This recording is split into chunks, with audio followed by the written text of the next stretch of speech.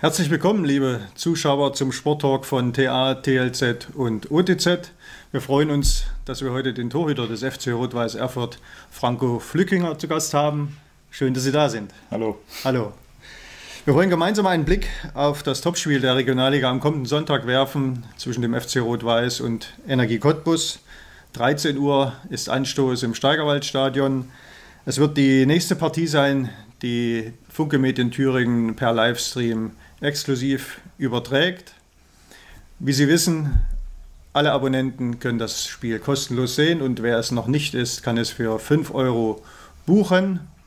Franco, wie fühlt es sich an, als Aufsteiger an der Tabellenspitze zu stehen? Ja, erstmal ist es ein ähm, positives Gefühl natürlich, ähm, was denke ich auch jeder im Verein, jeder um den Verein herum äh, mitbekommt gerade für die Jungs ist es halt äh, auch wichtig, dass sie sehen, äh, dass sie in der Liga definitiv mithalten können. Ja, und es ist halt äh, für uns jetzt wichtig, dass wir die Punkte gesammelt haben, bis zum Winter jetzt erstmal. Und unserem Ziel, dem Klassenerhalt, äh, dadurch ein sehr, sehr großes Stück äh, schon näher gekommen sind. Klingt immer noch verdammt bescheiden. Hätten Sie im Sommer, als Sie gekommen sind nach Erfurt, auch nur annähernd gedacht, dass es so laufen könnte? Nein, also wie gesagt, ich kannte die Mannschaft nicht. Ähm, ich wusste, dass es eine junge Mannschaft ist, ähm, die einen sehr guten Lauf in der Oberliga gehabt hat. Äh, hatte natürlich dann schon die Hoffnung, dass wir diesen Lauf halt auch in die Regionalliga mitnehmen können, ähm, was uns, denke ich, auch sehr gut gelungen ist über viele Spiele hinweg. Und ja, ich denke, die Jungs arbeiten sehr hart oder wir arbeiten sehr hart, jeder Einzelne. Und das ist dann äh, der Lohn, dass du am Ende dann halt auch die Spiele gewinnst. Ist dieser Fleiß, ist dieser Trainingseifer, ist dieses Lernwillige die Eigenschaften, die euch so stark machen? Ja, ich denke, äh, innerhalb der Mannschaft ist durch viele Spieler jetzt auch nochmal ein äh, neuer Impuls gegangen, ähm, durch die positiven Erlebnisse natürlich in dieser Saison.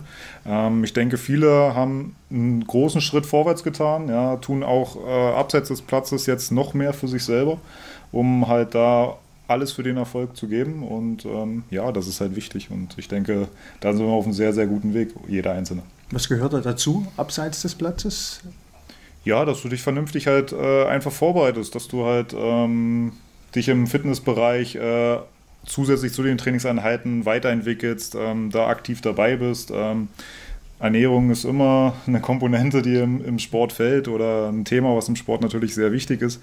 Und äh, ja, da äh, bin ich äh, sehr, sehr stolz auf die jungen Spieler auch, dass sie dieses, diese Themen halt äh, auch begriffen haben und für sich aufnehmen. Achten Sie da auch extrem darauf oder genau darauf, was Sie essen, was Sie trinken? Ähm, viel Schlaf wahrscheinlich? Oder wie sind die Erfahrungen aus den, aus den äh, Jahren, die Sie jetzt im Profifußball dabei sind? Ja, ich habe ähm, schon die Erfahrung gemacht, dass du natürlich auf deinen Körper achten solltest. Ja. Ähm, man sagt ja nicht umsonst, du bist, was du isst. ähm, aber natürlich gehören noch andere Stellschrauben dazu. Ja. Ähm, du musst dich halt einfach wohlfühlen, auch in deinem sozialen Umfeld. Ähm, ich denke, das ist halt auch wichtig, dass wir halt auch homogene Truppe sind halt einfach, ähm, dass es da innerhalb der Mannschaft äh, sehr, sehr gut passt, dass sich jeder wohlfühlt. Ähm, der Kopf äh, ist dann doch in vielen Spielen auch der Entscheider. Mhm. Ja, und ähm, ich selber, ja, ich achte schon drauf, was ich zu mir nehme. Ähm, zum Großteil natürlich gibt es auch Tage, wo ich eine Ausnahme mache. Ähm, wir sind alles auch nur Menschen. Mhm. Ich glaube, das ist dann auch mal erlaubt. Ähm, aber die Tage sind sehr selten. Sehr diszipliniert. Ähm, ändern sich denn nach 30 Punkten nicht vielleicht doch auch die eigenen Ansprüche ähm, innerhalb der Mannschaft oder vielleicht sogar die, auch die eigenen Ziele als den Klassenerhalt auszugeben? Na, ich denke, wir sollten die Ziele noch nicht ändern, weil wir haben die Ziele noch nicht erreicht. Mhm. Okay. ähm, von daher denke ich, dass wir da erstmal ähm, Step by Step die Ziele abarbeiten sollten und wenn du die Ziele erreicht hast, dann kannst du dir neue Ziele stellen. Also ähm, ich denke, Würzburg äh, in der zweiten Liga war damals ein mahnendes Beispiel, die zur Halbserie, glaube ich, unter den ersten Vieren standen und am Ende doch noch abgestiegen sind. Ähm, deswegen, ja, immer schön eins hier nach dem anderen. Klang bei Ihren Teamkollegen nach dem Spiel gegen Babelsberg fast unisono. Also es gab jetzt keinen dabei, der, der forsche Töne angeschlagen hat. Ist vielleicht auch ein, ein Indiz für diese Homogenität der Mannschaft, auch was die, die eigenen Ansprüche betrifft. Apropos Babelsberg, war ein mitreißendes Spiel. Aber sie haben erstmals in dieser Saison zwei Gegentore in einem Spiel hinnehmen müssen. Bisher war es allenfalls eines, ähm, aber das war zu verschmerzen, oder? Ja, natürlich. Im Endeffekt äh, kann ich die zwei Gegentore verschmerzen, ähm, weil wir halt einfach das Spiel gewonnen haben. Ja, ähm, ich denke auch verdient gewonnen haben äh, dann am Ende. Ähm, weil wir halt einfach die Effektivität wieder auf den Platz gekriegt haben, die uns in vielen Spielen noch ausgezeichnet hat. Äh, in manchen Situationen, gerade bei den Gegentoren, dann vielleicht doch ähm, noch ein bisschen grün hinter den Ohren waren. Ja, und dann, dann doch äh, zu sehr äh, schon den Schritt weniger gemacht haben. Ja, aber wir haben es dann immer wieder hinbekommen, nach den Gegentoren äh, noch eins nachzulegen und äh, wieder hochzufahren. Sie wirken unwahrscheinlich ruhig und cool auf dem Platz. Ähm, egal in welcher Situation Sie angespielt werden, strahlen Sie ja, eine extreme Ruhe aus. Äh, Gibt es Situationen, in denen Sie mal nervös werden? Selten. ähm, also ich sag mal so, Fußball, Fußball ist viel. Ja, Fußball ist auch, äh, denke ich, für viele mehr als, mehr als nur ein Hobby. Das ist für uns alle genauso. Ja, ähm, aber man muss sich halt auch ähm, in gewissen Lebenssituationen halt einfach vor Augen führen, ähm, dass der Fußball dann doch nicht alles ist. Ja, ähm, das habe ich halt in meiner Karriere schon gelernt. Ähm, und deswegen bin ich dann in den Situationen vielleicht dann doch etwas entspannter als äh, manch jüngerer Kollege. Wahrscheinlich ist es aber auch wichtig für eine junge Abwehr, wenn jemand da hinten im Tor steht, der diese Ruhe eben ausstrahlt. Ähm, was mir die meisten Verteidiger bisher gesagt haben, es hilft ihnen auch, wenn der Torwart mit ihnen spricht und Kommandos gibt. Wie wichtig ist Kommunikation in der modernen Torwartwelt? Ähm, ich denke, sehr wichtig. Ja, ähm, du kannst halt viel vorher verhindern, indem du halt einfach vernünftig äh, Anweisungen gibst, die kurz und, kurz und knapp sind, ähm, dass jeder Bescheid weiß, ähm, dass meine Innenverteidiger wissen, wo der Gegenspieler sich gerade im Rücken von ihnen befindet. Und ich denke, so kannst du viele Dinge vorab verteidigen, bevor ich dann überhaupt eingreifen muss. Also hilft es am Ende Ihnen auch. Natürlich hilft es mir am Ende ja, auch. Um, ja. ja ähm, umso weniger ich zu tun habe, umso mehr spricht es ja für, für unser Abwehrverbund, ähm, wie gut wir da arbeiten. Und ich denke, dass die Jungs das dieses Jahr äh, bisher sehr, sehr gut machen. Zeigt ja auch die Anzahl an Gegentoren, mit denen man, mit der man zufrieden sein kann, wenn man das auch im, im Vergleich zu den erzielten Toren sieht. Mal abseits vom, vom Spielfeld. Sie sind der einzige Ü30er in der Mannschaft. Wie ist denn das so mit den jungen Kerlen? Ähm, es hält jung. ähm, nein, also ich fühle mich jetzt auch nicht, als äh, wäre ich Ü30-Spieler, ähm, mhm. muss ich ganz ehrlich sagen. Früher, als ich selber noch 18 war, habe ich äh, die Ü30-Spieler immer angeschaut und habe mir gedacht, wow, äh, wie standfest sind die schon in ihrem Leben und so weiter und so mhm. fort. Ähm, dann kommt man selber in das Alter und dann merkt man doch, oh, ähm, man ist dann vielleicht doch gar nicht äh, so, so weit äh, weg von den jüngeren Spielern in manchen Situationen. Aber klar, ähm, man merkt halt dann doch schon in der einen oder anderen Situation die Lebenserfahrung jetzt auch außerhalb vom Platz. Mhm. Ähm, aber es macht Spaß mit den Jungs und äh, ja, ich hoffe, das bleibt bis zum Ende der Saison auch so und darüber hinaus. Und bestimmt der Älteste in der Kabine denn eigentlich die Musikauswahl oder die Getränkeauswahl? Ähm, na, die Musikauswahl nicht, ähm, weil meine Musikauswahl ist dann teilweise dann doch etwas zu alt für die jungen Spieler. Welche wären das beispielsweise? Ja, da kommen dann 80er, 90er mhm. ähm, oder Anfang der 2000er, wo viele von den Jungs dann teilweise erst geboren wurden ähm, oder noch gar ja. nicht auf der Welt waren. Ja. Ähm, von daher ist es dann natürlich für die Jungs schwierig, die Lieder dann auch zu kennen. Äh, aber wie gesagt, wir haben einen bunten Mix in der Truppe ähm, und der macht macht das Ganze auch aus. Wer ist der Kabinen-DJ? Das wechselt. wechselt. Also, okay. Mal ist es der Romario Heirola, dann macht es der Aaron Manu mal wieder. Also da gibt es äh, verschiedene. Wer sich halt als erstes einklingt, der macht die Playlist. Okay, schön. Jetzt steht das Spitzenspiel an. Ähm, Cottbus für viele der, der große äh, ja, Staffelsieg-Favorit. Wird das die schwerste Prüfung für euch? Und was heißt die schwerste Prüfung? Es wird eine, wird eine Prüfung, die auf jeden Fall ähm, vieles von uns abverlangen wird. Ja, ähm, und die uns Spaß machen wird auch. Ja, jeder freut sich auf dieses Spiel. Ähm, und ich denke, Cottbus hat äh, eine definitiv sehr, sehr gute Mannschaft beisammen. Ähm, auch einen Kollegen von mir letztes Jahr ähm, verpflichtet. Ähm, und von daher denke ich, die Mannschaft ist sehr stark. Ja, wir werden alles in die Waagschale werfen und dann am Ende mal schauen, äh, was bei rauskommt. Wer ist der Kollege? Erik Hottmann. Gibt es da Kontakt im Vorfeld? Die Woche jetzt nicht, aber wir haben unter der Saison schon ab und an Kontakt gehabt. Ja. Jetzt ist erstmal Funkstille bis zum Abpfiff am Sonntag, ja? Genau. Okay. Äh, Sie sind in Stendal geboren, haben den Nachwuchs dann in, in Magdeburg durchlaufen. Ähm, warum hat es dort beim FCM mit dem Durchbruch nicht geklappt?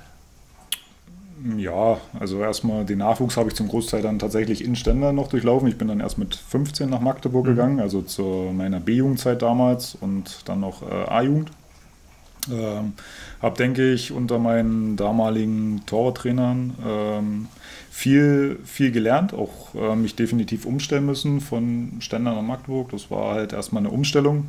A, weil es das erste Mal von zu Hause weg war und B, natürlich auf einmal leistungsbezogen äh, ist. Ähm, ja, was natürlich dann für mich persönlich äh, positiv lief zum Ende der A-Jugendzeit hin, dass ich es dann äh, geschafft hatte, zu U-Länderspielen nominiert zu werden. Ähm, hatte dann auch gehofft, äh, nach meinem Jahr oder nach meinen Jahren in der A-Jugend, dass ich halt aufgrund dieser U-Länderspiele eine, eine Chance äh, bekommen werde ähm, im damaligen Herrenbereich bei Magdeburg. Ist aus verschiedenen Gründen, sei es das Bauchgefühl dann einmal vom Trainer gewesen oder weil dann doch der ältere Kollege halt einfach gesetzt war oder ja, Verletzungen einen immer wieder zurückgeworfen haben. Ähm, Im Endeffekt darauf jetzt zu sagen, äh, es, es, lag nicht an mir, wäre falsch. Mhm. Ja, also irgendwas äh, muss ich damals nicht richtig gemacht haben, weil sonst hätte ich die Chance bekommen. Ähm, und ich denke, das muss halt jeder auch für sich selber dann wissen, dass halt diese Selbstreflexion am Ende das Entscheidende ist. Und ja, das habe ich halt für mich gelernt und leider ein bisschen spät. Ähm, deswegen hat es in Magdeburg nicht geklappt. Aber die vier, ich glaube vier waren es, U19 Länderspiele stehen zu Buche, die kann Ihnen keiner nehmen. Was ist das? Ähm, ja, für ein Gefühl, ähm, als junger Mann ähm, für Deutschland auflaufen zu können. Und ähm, ja, wie haben Sie das wahrgenommen? Gab es da jemanden in der Mannschaft, äh, der es dann in die Bundesliga geschafft hatte? Ähm, ja, also es gab einige Spieler, die dann später in der Bundesliga ge gelandet sind oder immer noch in der Bundesliga sind. Ähm, äh, Dani Ginczek beispielsweise war damals mit mhm. dabei, ähm, unter anderem. Dann der Herr Kramer war unter anderem bei Lehrgängen mit dabei. Also es gibt einige Spieler, die es ähm, bis nach oben geschafft haben.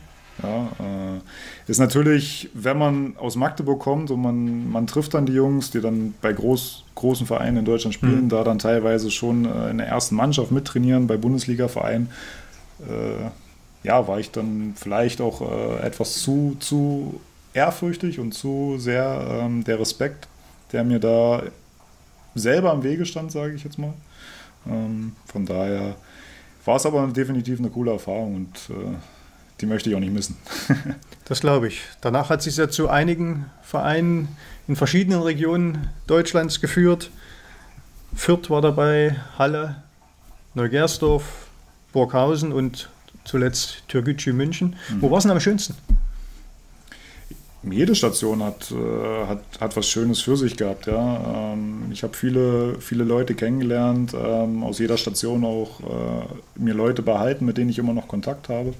Ähm, jeder Verein für sich äh, hat halt irgendwo dazu beigetragen, dass ich jetzt der bin, der ich bin. Ja. auch ob es das soziale Umfeld dort war, die Trainer, die mich in den einzelnen Vereinen geprägt haben oder die Erfahrung halt einfach, ähm, was du mit den einzelnen Vereinen erlebt hast. Äh, von daher kann ich jetzt nicht sagen, wo es am schönsten ist. Ähm, ich kann nur sagen, dass es auch mir hier sehr gut gefällt. Ähm, und äh, ja.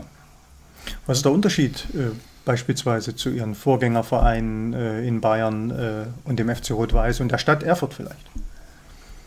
Was sind die Unterschiede? Also von der Stadt Erfurt zur Stadt München ist es A die Größe. Mhm. Erfurt ist dann doch ein bisschen übersichtlicher, was ich ja auch schon ähm, mal ange, angesprochen habe, dass äh, mir das eigentlich sehr gut gefällt, dass es halt nicht so, so groß ist. Äh, ich selber wohne ja auch ähm, etwas außerhalb von Erfurt, ähm, ein bisschen mehr im Grün gelegenen. Ähm, die Vereine, ja, Türkgücü und Erfurt kannst du auch nicht miteinander vergleichen. Mhm. Es ist halt einfach äh, die Situation, die, die uns zum Ende bei Türkgücü halt einfach begleitet hat, war halt äh, extrem schwer. Ja, da muss man natürlich dann auch den Leuten Tribut zollen, die am Ende das Zepter dann noch hochgehalten haben äh, in dieser schwierigen Phase. Und äh, hier bei äh, Erfurt ist es natürlich so, du hast eine junge Mannschaft im Vergleich äh, zu Türkgücü, wo halt viele gestandene Spieler schon waren. Und äh, ja, auch ein hungriges Trainerteam und äh, das Umfeld, die Fans, ist natürlich ja, eine Spur größer. Hm. Das war ja auch ein Grund, den Sie mal angegeben haben, zu einem Traditionsverein zu wechseln, weshalb Sie in Erfurt gekommen sind. Ja, natürlich. Also ich kannte es ja beispielsweise aus den Zeiten in Magdeburg oder Halle, ähm, diese Traditionsvereine äh, aus dem Osten, ähm, dass da natürlich eine besondere Fanverbundenheit auch einfach herrscht. Ja, also ähm, man darf es nicht falsch verstehen, es gab auch bei Türkgücü ähm, eine Fangruppe, ja, die den Verein und die Mannschaft permanent unterstützt hat. Das ist jetzt nur nicht die Masse, ähm, mhm. wie sie jetzt hier herrscht und äh, ja, das ist halt äh, schon der Wahnsinn, wie, wie hier die Leute auch hinter uns stehen. Hatten Sie da mal Bedenken, ähm, von einem insolventen Verein zu einem Verein zu wechseln, der auch noch ein Insolvenzverfahren ähm, am Hals hat, nenne ich es mal?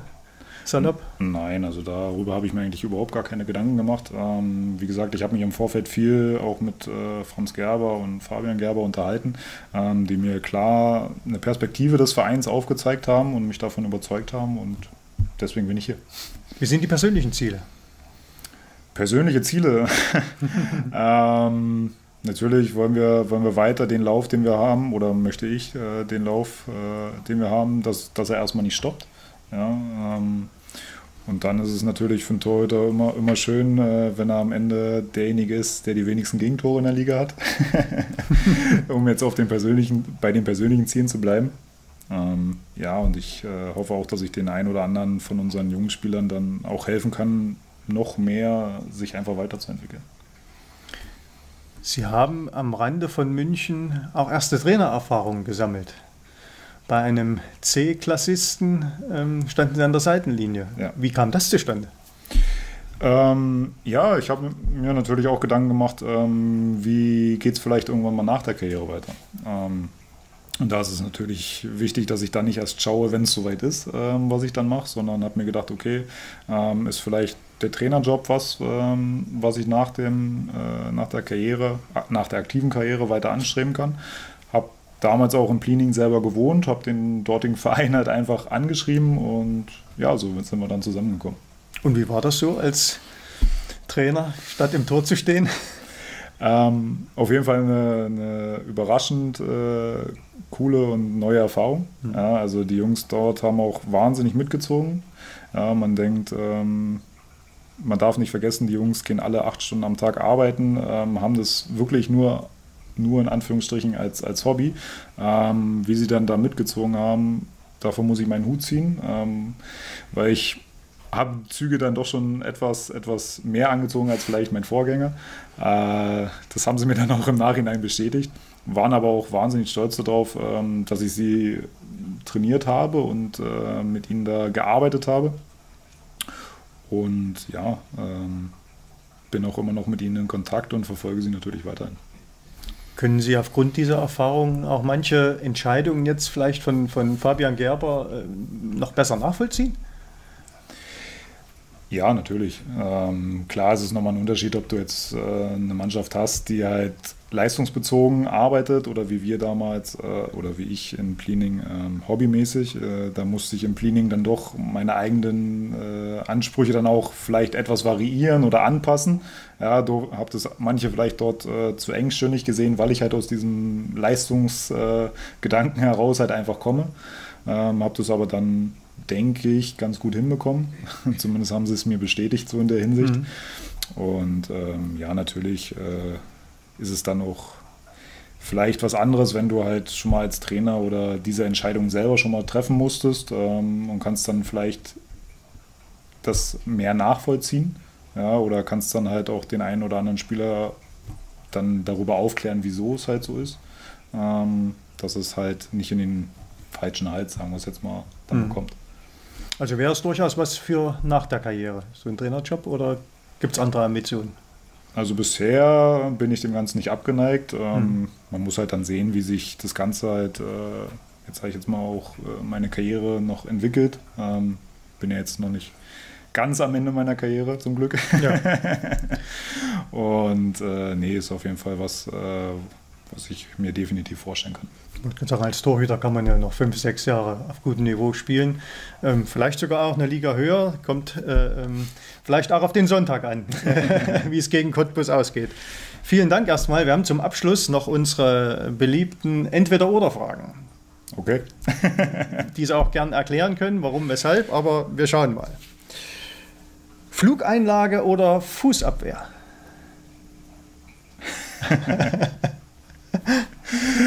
ja, die Flugeinlage ist ähm, fürs Foto schöner.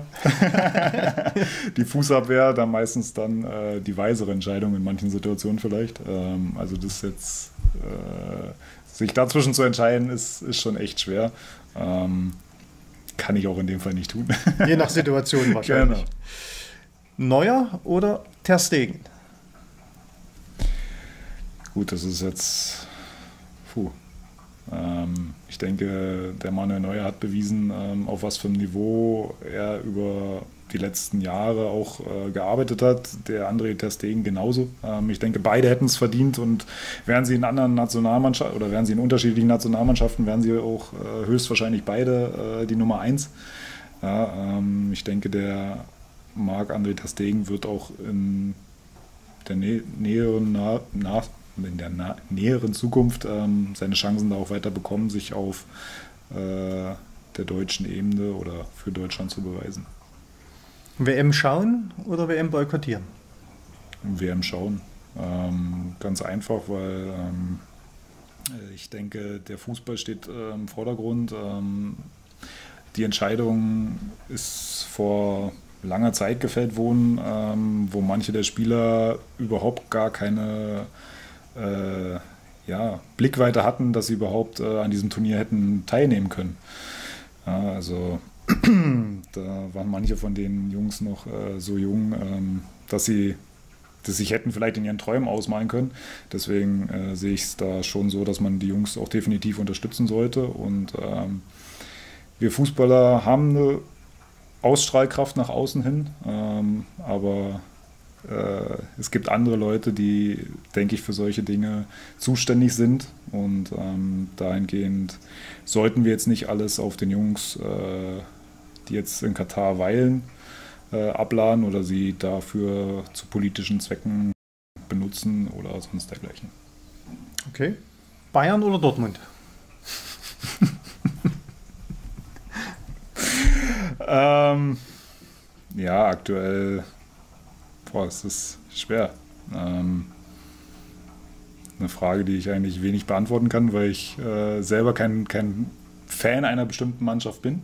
Ja, ähm, ich schaue mir gerne Fußballspiele an, ähm, wo mir allerdings eher die fußballerische Komponente meistens im Vordergrund steht. Ähm, wer spielt den attraktiveren Fußball, den effektiveren Fußball? Und ich denke, da hat Bayern in den letzten ja, zehn, zehn Jahren, glaube ich, äh, deutlich gezeigt, wo sie stehen. Ich frage trotzdem, Magdeburg oder Halle?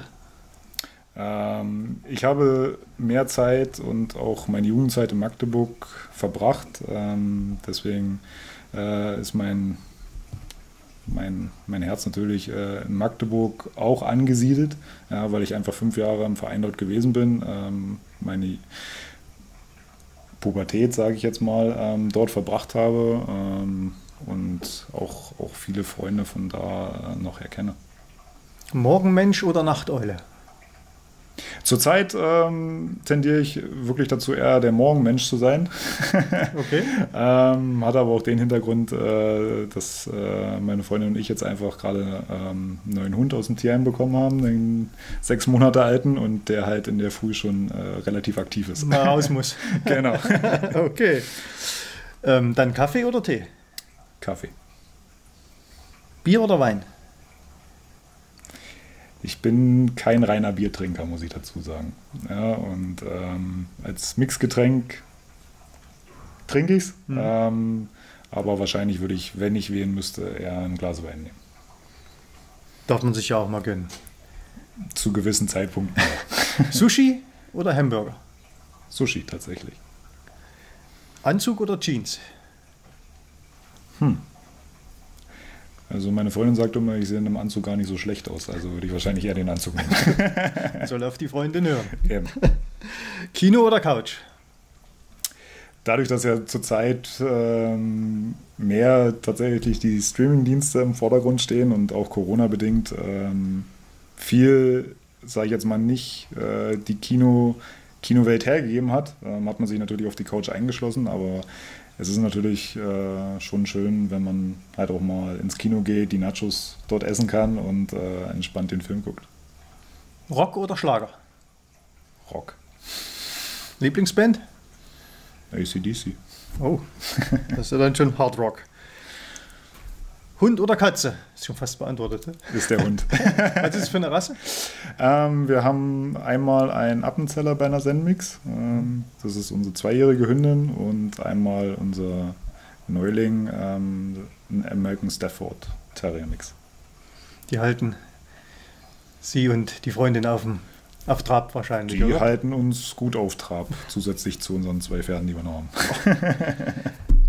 Tierliebe, große Tierliebe. Strand oder Berge? Ähm, wir hatten, also wo wir noch in, im Münchner Umland gelebt haben, hast du natürlich äh, die Alpen quasi vor der Tür. Ähm, waren auch dort äh, in den Bergen auch unterwegs. Ähm, haben natürlich aber auch an den Seen, an den wunderschönen Seen, die es äh, dort gibt, auch viel äh, am Strand verbracht. Ähm, für den Urlaub würde ich wahrscheinlich eher den Strand wählen. Ähm, für den Aktivitäten eher die Berge. Okay, und zum Abschluss heimatbezogen Altmark oder Thüringer Wald? Den Thüringer Wald kenne ich leider noch nicht so gut. Ähm, Okay. Deswegen kann ich dazu nicht viel sagen. Deswegen äh, ist die äh, Altmark dann eher das naheliegendste, weil ich mich dort halt schon ein bisschen oder deutlich mehr auskenne. Ähm, aber es ja eher dann ein Indiz dafür ist, dass ich den Thüringer Wald ein bisschen mehr erkunden muss.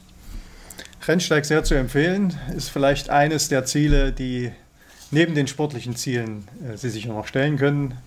Ähm, eine Wanderung mit Hund auf dem Rennsteig kann ich nur empfehlen, im Winter wie im Sommer. Vielen Dank, dass Sie da waren, Franco Flückiger. Sehr gerne.